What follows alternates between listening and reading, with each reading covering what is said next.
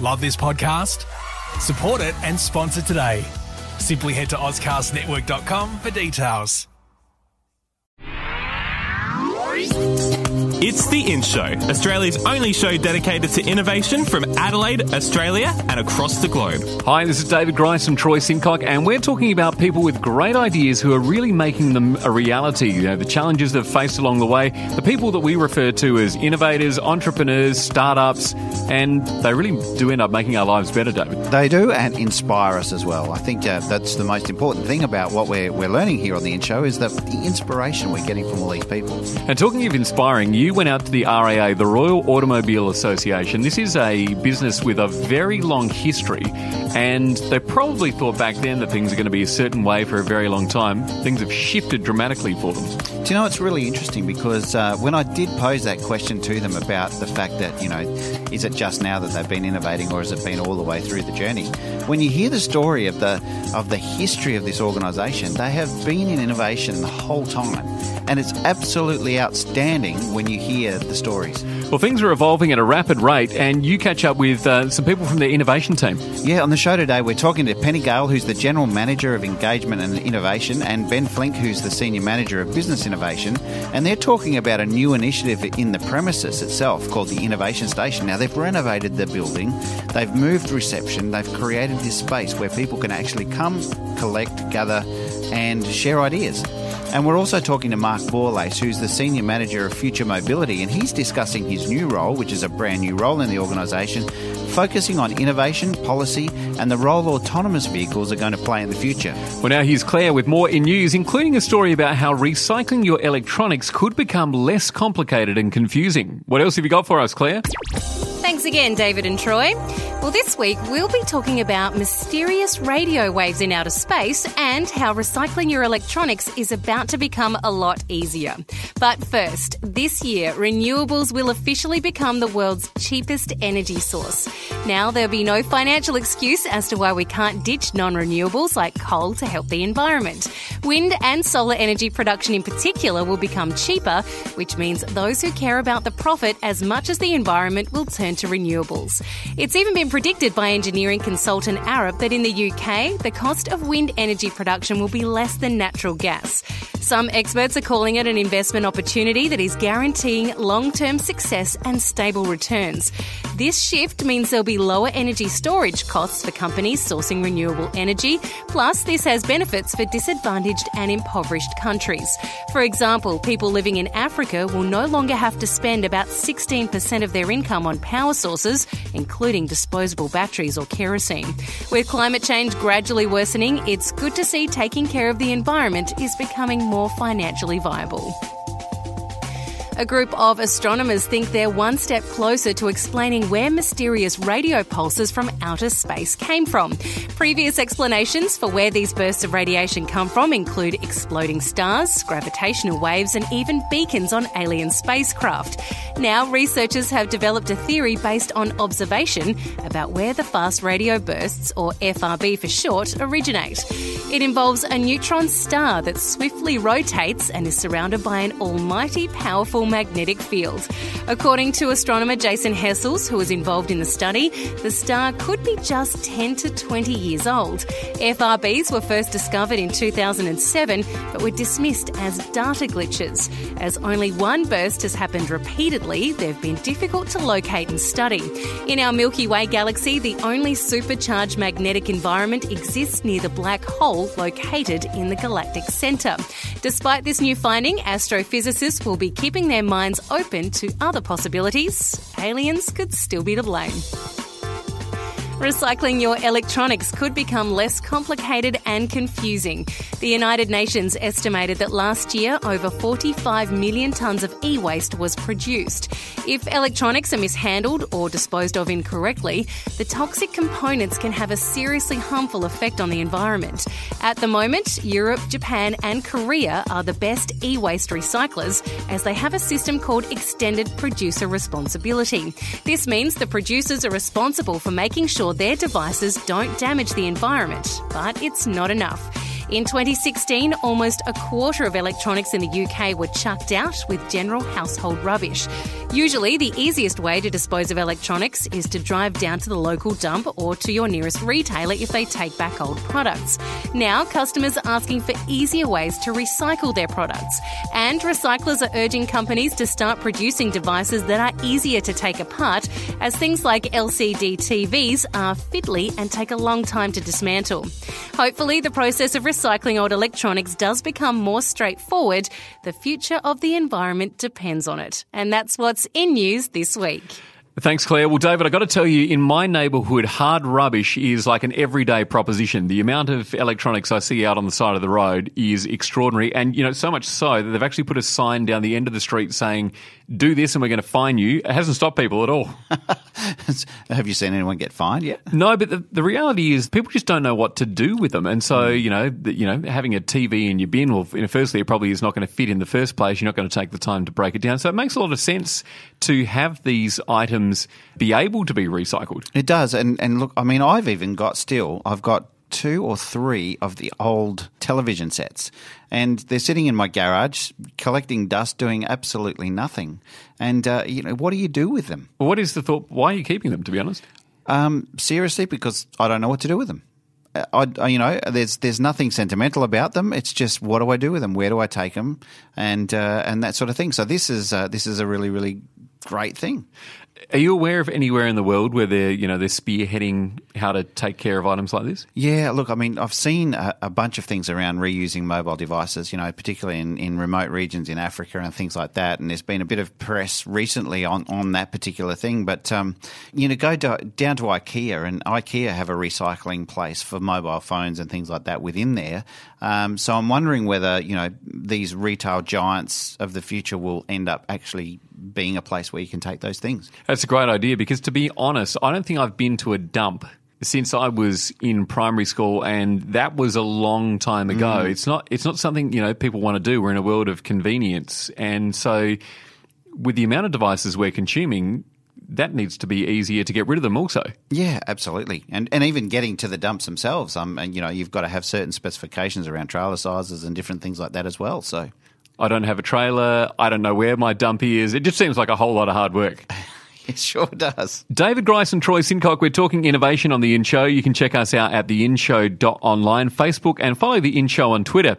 Coming up, we speak to the RAA, the Royal Automobile Association, about a new initiative at their premises called the Innovation Station, focused on creativity and thinking differently. The In Show. It's all about innovation. Hi, I'm John Carroll from Sphero, and you're listening to The In Show. It's David Grice and Troy Sincock, and if you've missed an episode, make sure you subscribe to the In Show podcast on iTunes. The In Show. All right, David, we're talking to the RAA, the Royal Automobile Association. You went down there during the week. Now, this company has a long history. Yeah, 114 years to be exact. And, uh, you know, what they're doing around, you know, innovation and getting things sort of prepared for the organisation to move into the future is unbelievable. So, Troy, during the week, I went down to the RAA to the Innovation Station and spent time with Penny Gale, who's the General Manager of Engagement and Innovation, and Ben Flink, who's the Senior Manager of Business Innovation. And I asked them about their new initiative, the Innovation Station and what it means for the future of the organisation. Well, the room that we're actually in is um, one of our kind of symbols that we're taking innovation seriously at the RAA, and it's for our internal, uh, you know, 850 people who work here. So this was part of when we put together our innovation strategy. One of the things we wanted to do was actually have a space that looked different from other spaces in the building. If you looked at our normal uh, meeting rooms, they're pretty bland, shall we say, uh, and a lot of them don't have any windows. So we thought, let's create a space that's light and airy. Let's involve our own employees in actually putting the space together. So all the artwork you see on the walls was done by our employees. Wow. And this actually used to be the reception area.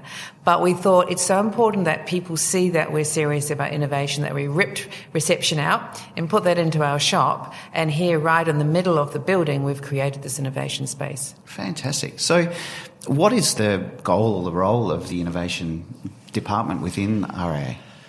Uh, so the role of the innovation department is really future thinking. So we know there's a lot of changes that are occurring, you know, technological trends, etc.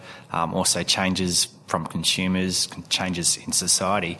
Um, so really, our role is to incubate what we might look like in five to ten years' time. Is that a difficult thing to do? Like look that far ahead, or is that something that's you know kind of naturally starting to to be easy to think about? I think everybody's doing it now. Mm. And I suppose what's different for us is how, how we are engaging with our members. So you'd have heard, you know, the buzzwords like design-led thinking and human-centric design. So what we're actually doing is working with our members right at the beginning, uh, which is very different than how we used to work with them. So once you actually understand how that works, and it's a bit of a process, it's not really that difficult. The process isn't that difficult. But what's difficult is finding what you want to actually take a bet on and say, yeah, well, perhaps this is where we want to be in 10, years' time. So it sounds like we're, we're talking about two different things here. One is innovation within the organisation, and the other is outside of the organisation. Yes. That must be a really challenging thing to be thinking about. No, that's why we put together a strategy. So we put together a five year innovation strategy, which our board signed off on, and that strategy has got three planks to it. One is about how do we create a more innovative culture within our organisation? How do we bring people along with us as we innovate mm. and change? Because one thing that we all know is if you don't bring people with you, then the culture will defeat you.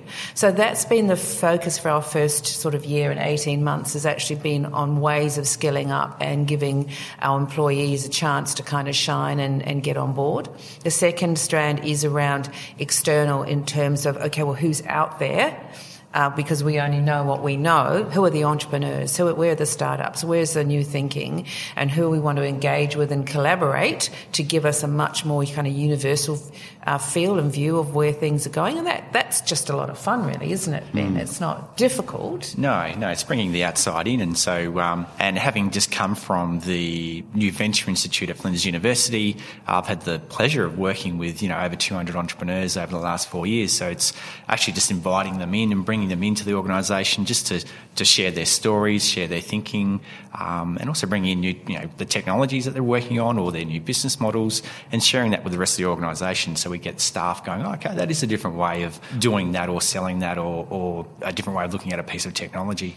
And is the hope for that to also work with these entrepreneurs and startups to try and in, in sort of I guess encourage more activity for things that you're looking for as needs in the in the organisation. And yeah, it's very much about finding where our collaborators are and our partners because we know we can't do it alone. Mm. Uh, and we, you know, how could we compete uh, you know, with some of our products and services with, say, Amazon or, or even Telstra or Google. So by ourselves, we need to be bringing in and working with kind of fresh minds and people are doing different things.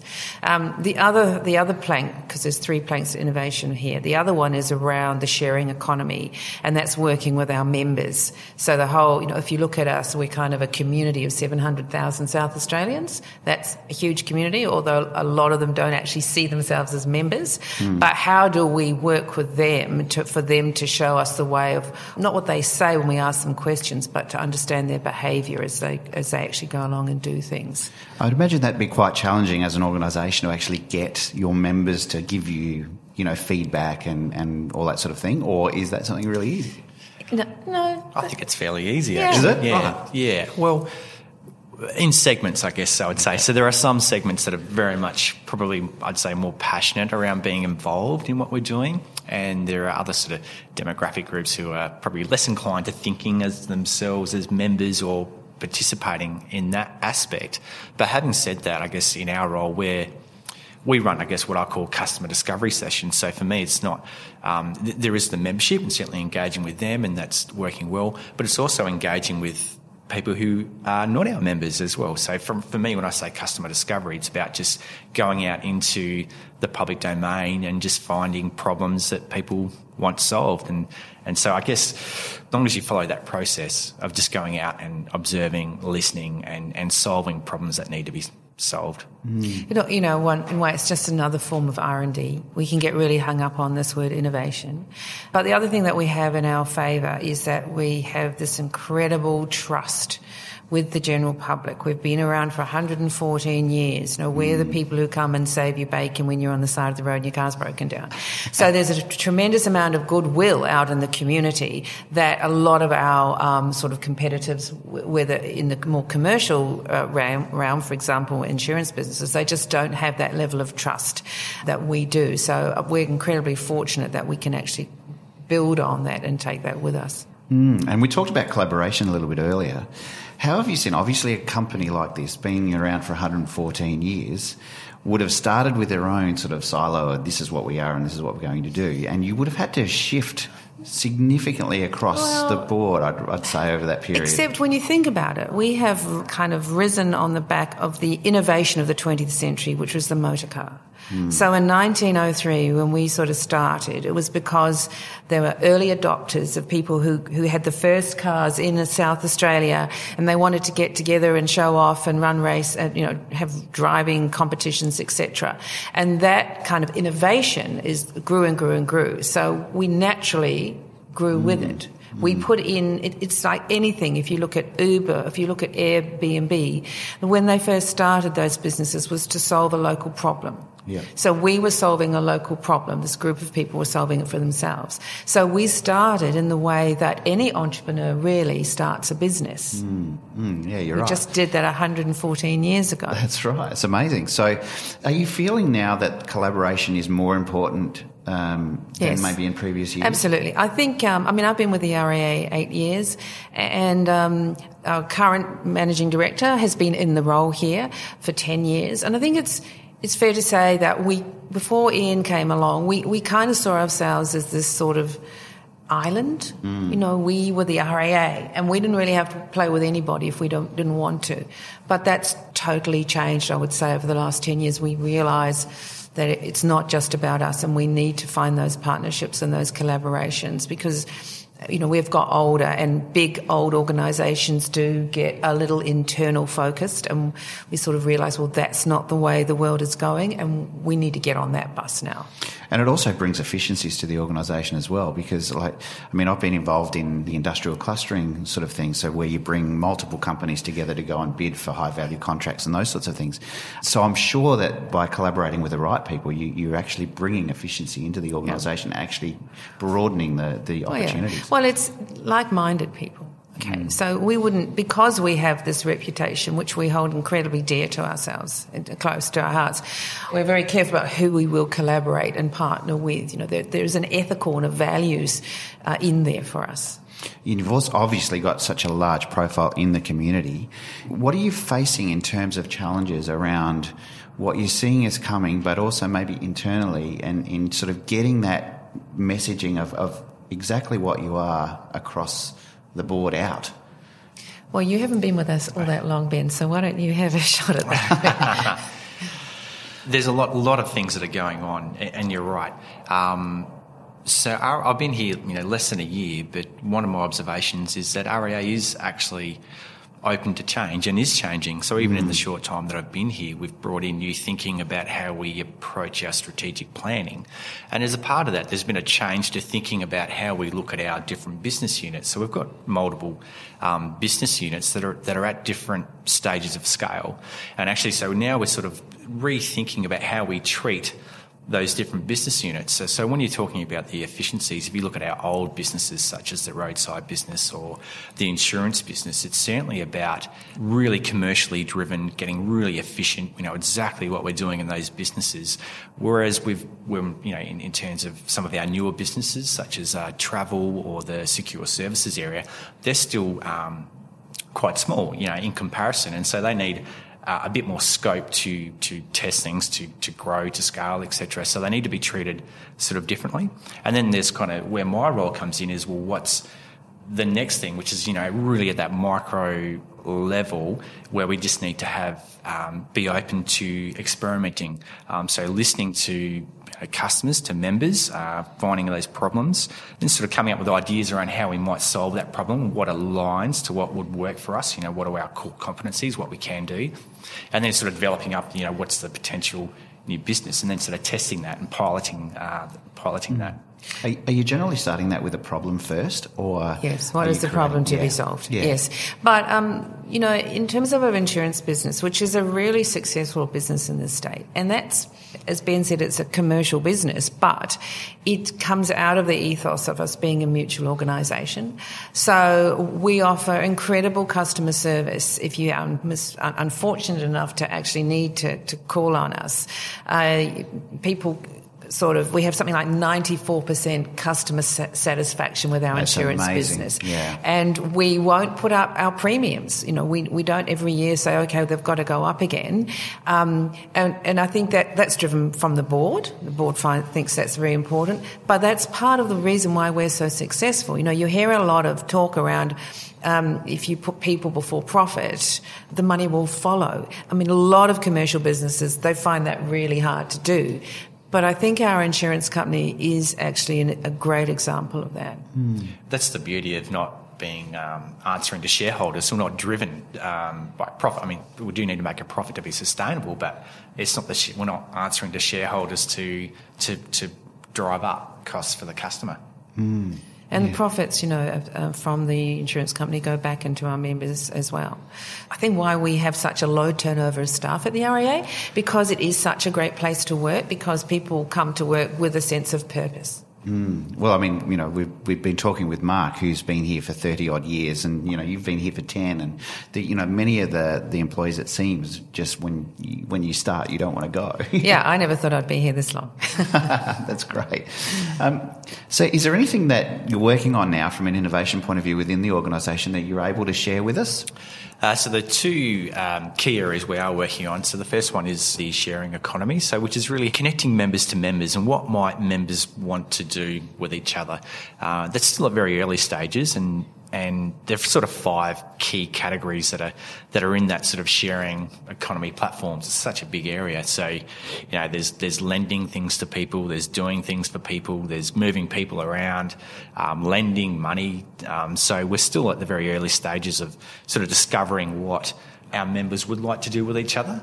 The second part that we're looking at is both in terms of advocacy, which is um, certainly within Penny's um, business unit, but also innovation, is around the home energy. So it's very topical at the moment with the cost of electricity. Um, so again, we've been ru- running some discovery sessions with members around what role we could, what problem we could solve for them in, in the home and, and the cost of electricity for them. Yeah, I think it's interesting though because um, there's actually nothing really new. It's about how you look at something and put things together differently.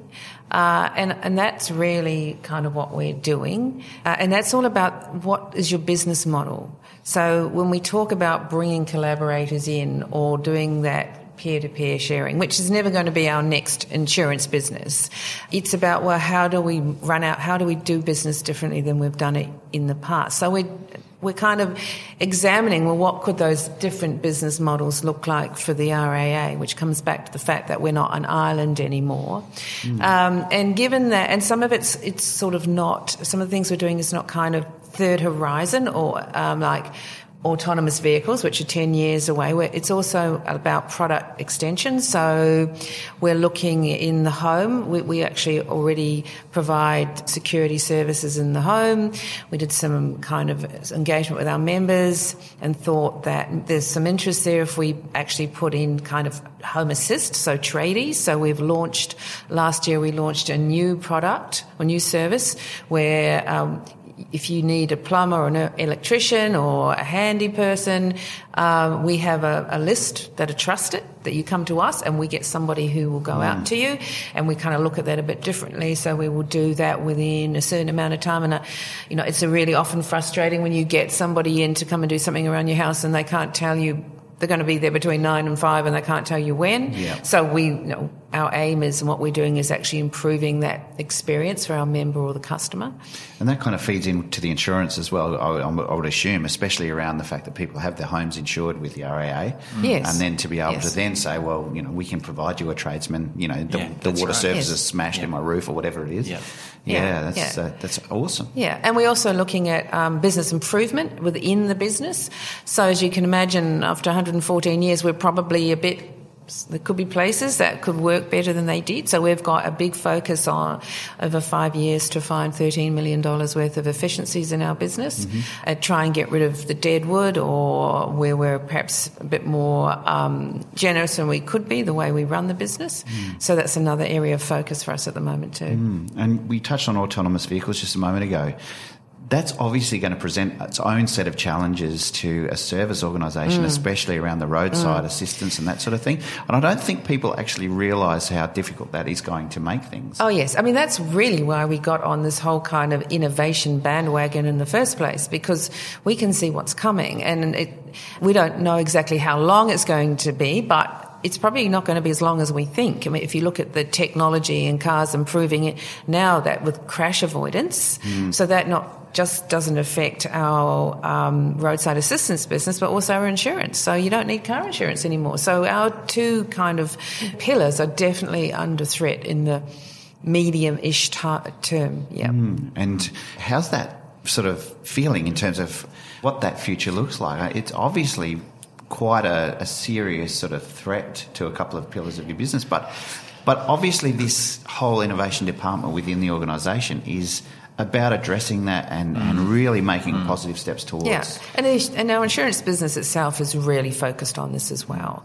But yeah, it's an incredible threat and an, a fantastic challenge. Mm. And it's, it's it's complex. It's un, unknown, and uh, so so in my role, it's about bringing in entrepreneurs and startups who are who are playing in that space with new ideas, new concepts, new models, and really sort of exploring what role we might play in that new field. And so we've we've got to be in it to have some sort of role. So we've got to start, you know. Running some experiments or trying some things in that space. And we're lucky that, you know, we're not going to be like a Kodak moment. We haven't got our heads buried in the sand. We can see the future come towards us. And, you know, we want to be well prepared, whether it's that, the resilience of our workforce, um, or having identified new products and services that we want to give a go. I can certainly see how that's sort of definitely with what I've seen so far with, with what you guys are doing is it's just so exciting. So if I'm a startup and, and you know I want to engage with the RAA in some way, what are you guys actually looking for at the minute? Well, it could be anything. I mean, the thing about innovation is it's not just about technology. You know, you can innovate anyway and anywhere. We figure that we will still probably be in the kind of business that we're in now. It, so it's probably going to be something about mobility or something about the home or, I mean, we went out and asked our members about a year ago, well, what, what's your why? Why are you a member of the RAA? And they said it's about peace of mind. Right. So it's something that fits in and kind of reinforces what it is that our members are looking for from us. And are you looking for startups to come to you and, and engage with you? Is- is- Absolutely, yeah, yeah, and they and they do um, every week. So do. which, So for somebody that's listening to this now, um, you know, and they're based in Brazil and they've got a, you know, an amazing idea that could help you, are you open to some internationals coming in and uh, and being involved as well? Well, that's a really good entry into think in talking about car clubs. So we're, we're part of a global community, um, which is the FIA. So we collaborate nationally with all the other car clubs um, across the states, but also internationally, uh, which is fantastic. So um, if there is a startup in Brazil, I'd certainly encourage them to contact their. If they've got something in this space, they can come to us, but also to contact the. Um, who are they in Brazil? Yeah, there- there is an automobile association in, yeah. in Brazil Yeah, as and, well. and yeah. we're all going through the same challenges across the globe. Okay, you know, autonomous vehicles, connected cars, etc., etc. They're going to impact us all. So we are open to working on this together. Actually, So how do we get in touch with you if uh, if we need to? well, just uh, you can send an email to innovation at raa.com.au, and uh, we'll get back to you within uh, within the next day. Fantastic, and we'll um, we'll put that up on the the in-show website as well for anybody who wants to just go back and and get that link. So that's fantastic. Well, thank you so much, Ben and Penny, for being with us Pleasure. today. Um, really inspired by what you guys are doing, not only within the organisation but outside of that, and and just encouraged by the fact that you know a trusted brand is continually reinventing, and I and I think that's you know it, that inspires me because have been being in business for so long, you know, that constant reinvention is something that's that's often missed, and I think that's really important for us to all hear about. So thanks so much for joining us on the In Show. Pleasure. Thank you. It's David Grice and Troy Sincock on The In Show. Subscribe to iTunes and listen to The In Show podcast for more innovations. Up next, we continue our chat with the RAA, an organisation with over 100 years' history, about how they're adapting to the changing needs of future mobility and the new roles they've created. Download the Phoner app before you head to your next event. Find people easier, market yourself better, and get connected using Phoner. That's spelled P F O N R. Phoner. Available in the App Store now.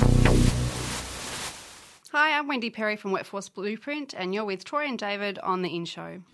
The In Show. Senior Manager Future Mobility at RAA, Mark Borlace, has been working for the organisation for well over 30 years, but despite his experience, Mark finds himself in a new role, focusing on the future of the enterprise. Mark, you've been working in this new role now for around a year. Tell us what you're up to. So I'm in the public policy area. So we look at things that will affect our members and, and uh, form an opinion and eventually policy on it. Uh, so our role is to look at the real issues that will be confronting us probably three years out in a technology sense and, and sort of a broader watching brief for technologies beyond that three years. So the things, the sorts of things we've been looking at are uh, autonomous vehicles and the, and the role that they'll play in the future and um, the legislation and policy settings that need to be put in place for this to sort of tr- for us to allow tr- transition from where we are to uh, an autonomous vehicle future without leaving anybody behind.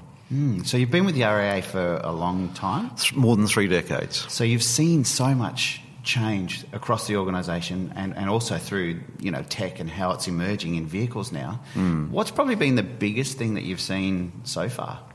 Well, I suppose it is the uh, the role that computers have played in cars now. So all of a sudden, it's uh, uh, it allowed a lot of other mechanical advances in, in cars. Everything from airbags. Uh, you know, you've got to realise that even airbags, as commonplace as they are now, they make a decision that they've had it, that we're in an accident, and deploy the airbag in about 67 milliseconds. So, it's 100 milliseconds is a blink. Mm. So it makes that complex decision within less than a blink, and it's only possible because of computers. Fast forward to where we are now.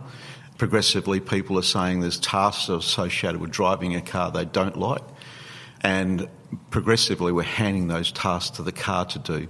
Uh, the most simple example is cruise control. A lot of people didn't like, you know, having to concentrate on keeping the car at one speed, giving that to the car. More recently, a lot of people don't like reverse parking. They've given that to the car.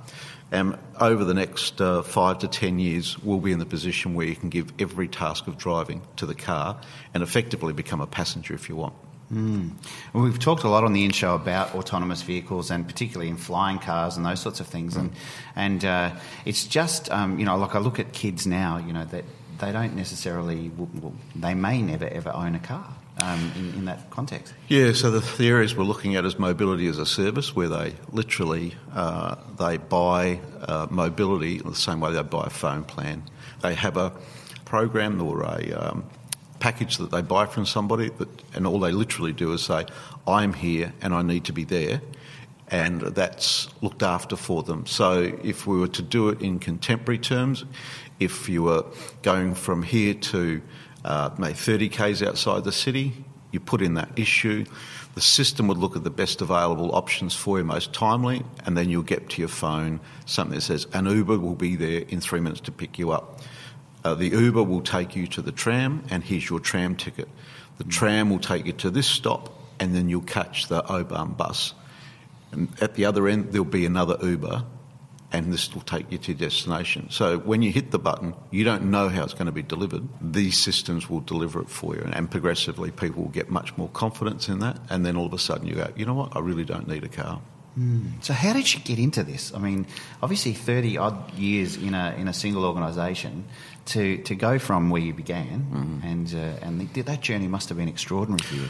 Well, the, the RAA's uh, been a very good place. Uh, we've got 900 staff, so we're quite a large organisation. I started as a young engineer and was able to basically have six or seven jobs in the time I've been here. So I started around the time we were starting crash testing.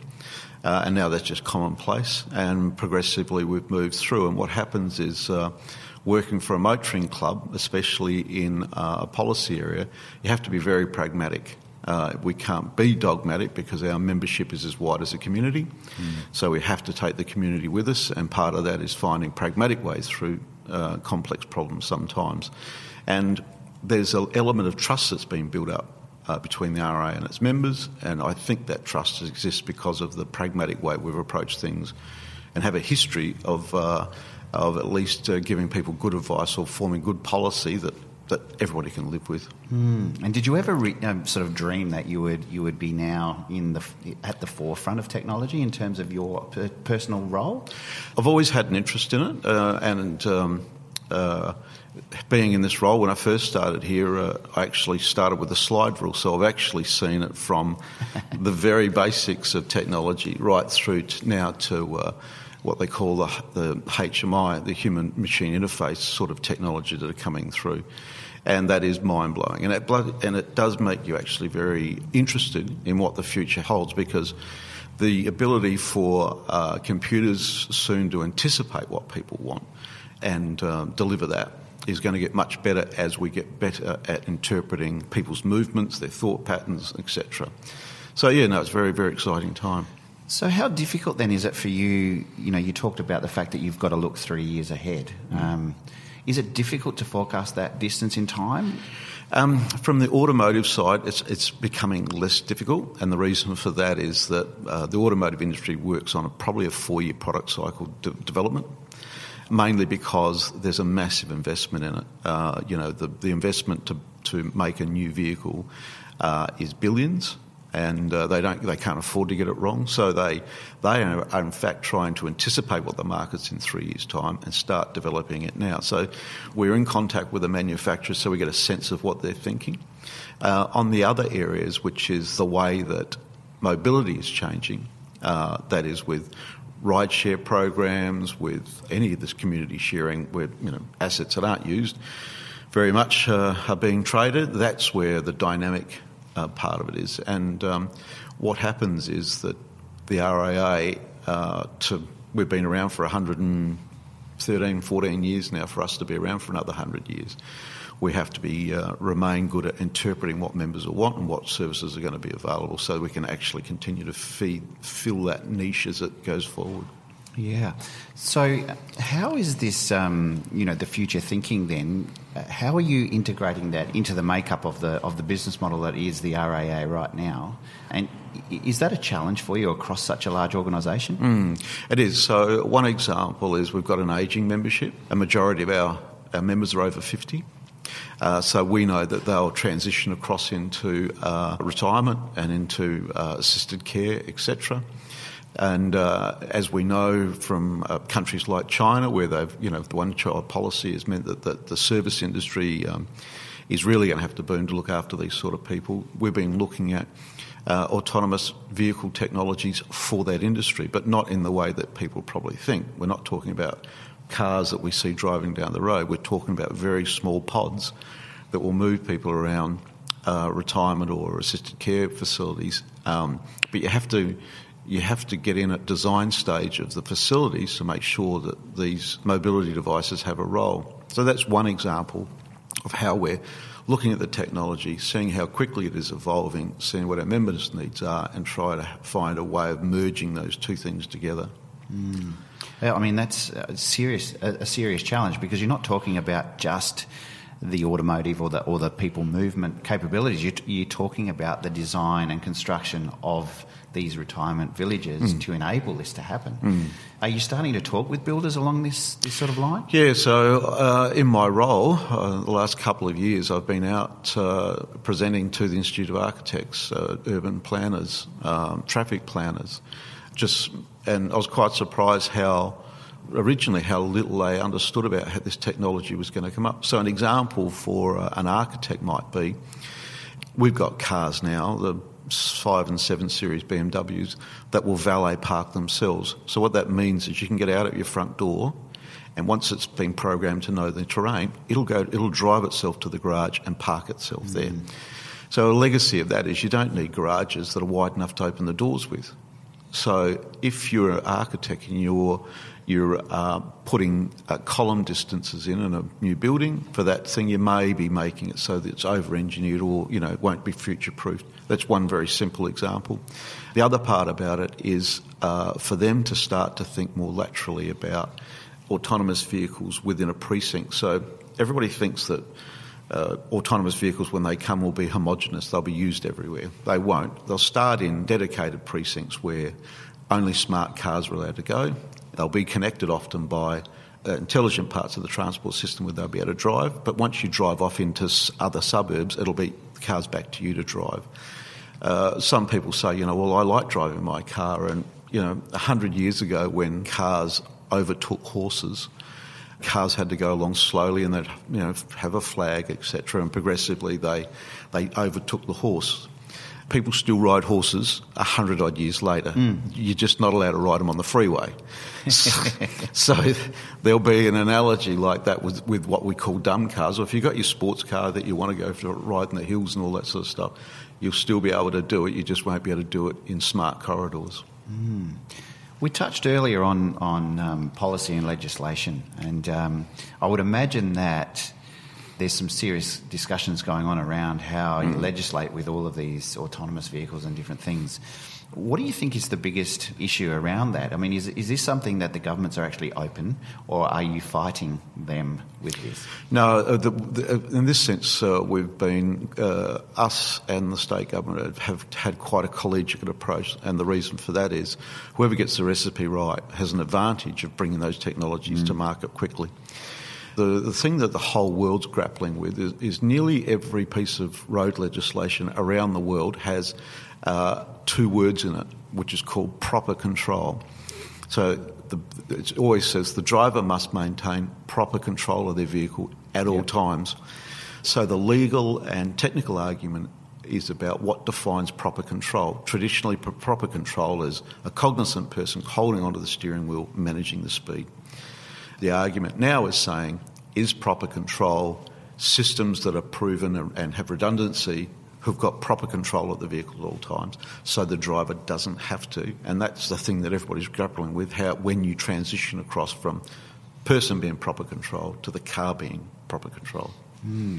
And then the thing that I think about when we talk about all this autonomous vehicles and so forth is how cities are going to create revenue out of car parking if they don't need it anymore. You know, what is what is going to replace that for a city? So I feel like that's a, a massive challenge for the bureaucracy to uh, to try and um, get around. Have you seen anything across the world or with all the research that you do that, that is sort of paving that way to some of the areas that are that are that will develop this technology quickly out of necessity are places like Singapore and Hong Kong.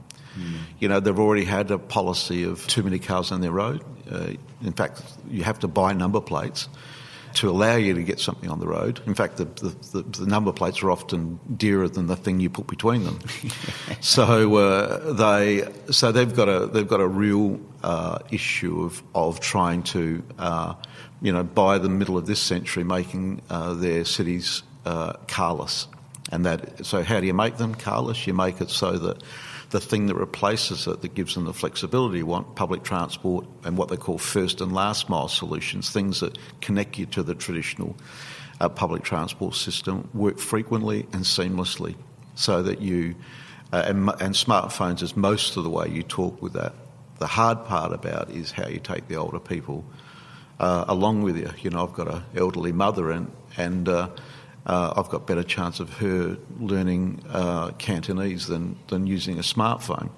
So the system has to be uh, flexible enough to to incorporate those sort of people as well. What do you see as the biggest challenges ahead of you now as, a, as an organisation in terms of you know future mobility and those sorts of things? I think what we've got uh, from a membership point of view, it's always hard to get young people to take out road trips because they're in a risk risk taking part of their life anyway. Our marketers will tell you that where we where our membership normally grows from is the moment they have children. Right. All of a sudden they realise that they need to have the security of knowing their car will get looked after, etc. Uh, as we transition across to those sort of technologies that might allow you to an autonomous vehicle to take your son by himself to soccer and you follow them later and all those sorts of once you get that sort of flexibility and then you may you know we may have a, a uh, an issue with the you know reducing the relevance of the car to them but um, you know if you look at our organisation the traditional road service is less than half of our business now. So we are already transitioning across into services that they uh, need so like security services monitoring Uh, the, the, insurance obviously will continue uh, mm. to uh, be around, and that in itself will change as, as autonomous vehicles have less accidents, etc. Yeah. So yeah, it's um, it's a time, and we've got an innovation team whose role is to work out uh, what innovations we should be following and how we um, basically remain relevant. Mm. Well, Mark Borlace, Senior Manager of Future Mobility here at the RAA, thank you for joining us on the In Show. And thanks for your interest. It's all about innovation on the In Show. And if you know an innovator that we should have on the show, just drop us a line at theinshow.online. You can check us out on Facebook and Twitter. Next week on The In Show.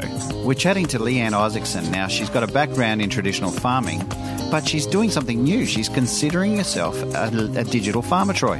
That sounds different. It, yeah, I, I, can't wait to find out more about that. And you know what else? She's she's also Australia's most connected LinkedIn woman. Can you imagine what that would be like? Particularly as a farmer, you'd expect the most connected person to be, you know, a very prominent Australian.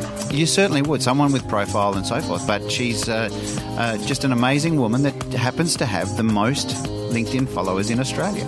And she describes herself as a connection creator who coaches people to connect. And next week, we'll also speak to Claire once more with more news from all around the world. No idea where she gets it from, but it's always interesting. And you can check out the inshow.online and subscribe to iTunes, listen to the podcast, and rate us five stars if you're enjoying what you're hearing. Well, I've loved the show this week, Troy. Um, just hearing all about what's going on in, in a traditional business that's been around for a long, long time. But we're going to finish up with Brad Chilcott. Now, he's the founder of Welcome to Australia. He's a pastor and a progressive thinker talking about what inspires him to pursue his passions and how he helps others. I actually just love being involved in people's lives, being improved, whether that's in small ways or, or big ways. You know, I love being involved where I can in the political process and seeing you know policy change and um, things that you know impacts thousands of people. And I love being able to do a small thing like you know see um, a family come to the welcome centre and walk out with a, an armful of food. You know, I, like for for both of those extremes, I love being a part of it. So to me, I think I am born with a lot of privilege that other people don't have, and I think it's my responsibility to leverage that privilege in whatever way I can to, to benefit others. The In Show, presented by David Grice and Troy Sincock. News by Shannon Corvo and Claire Murphy. Music by Zach Grice. Produced by Jason Walker. Subscribe to the In Show podcast on iTunes. A Dave and the Beanstalk production. Love this podcast? Support it and sponsor today. Simply head to AuscastNetwork.com for details.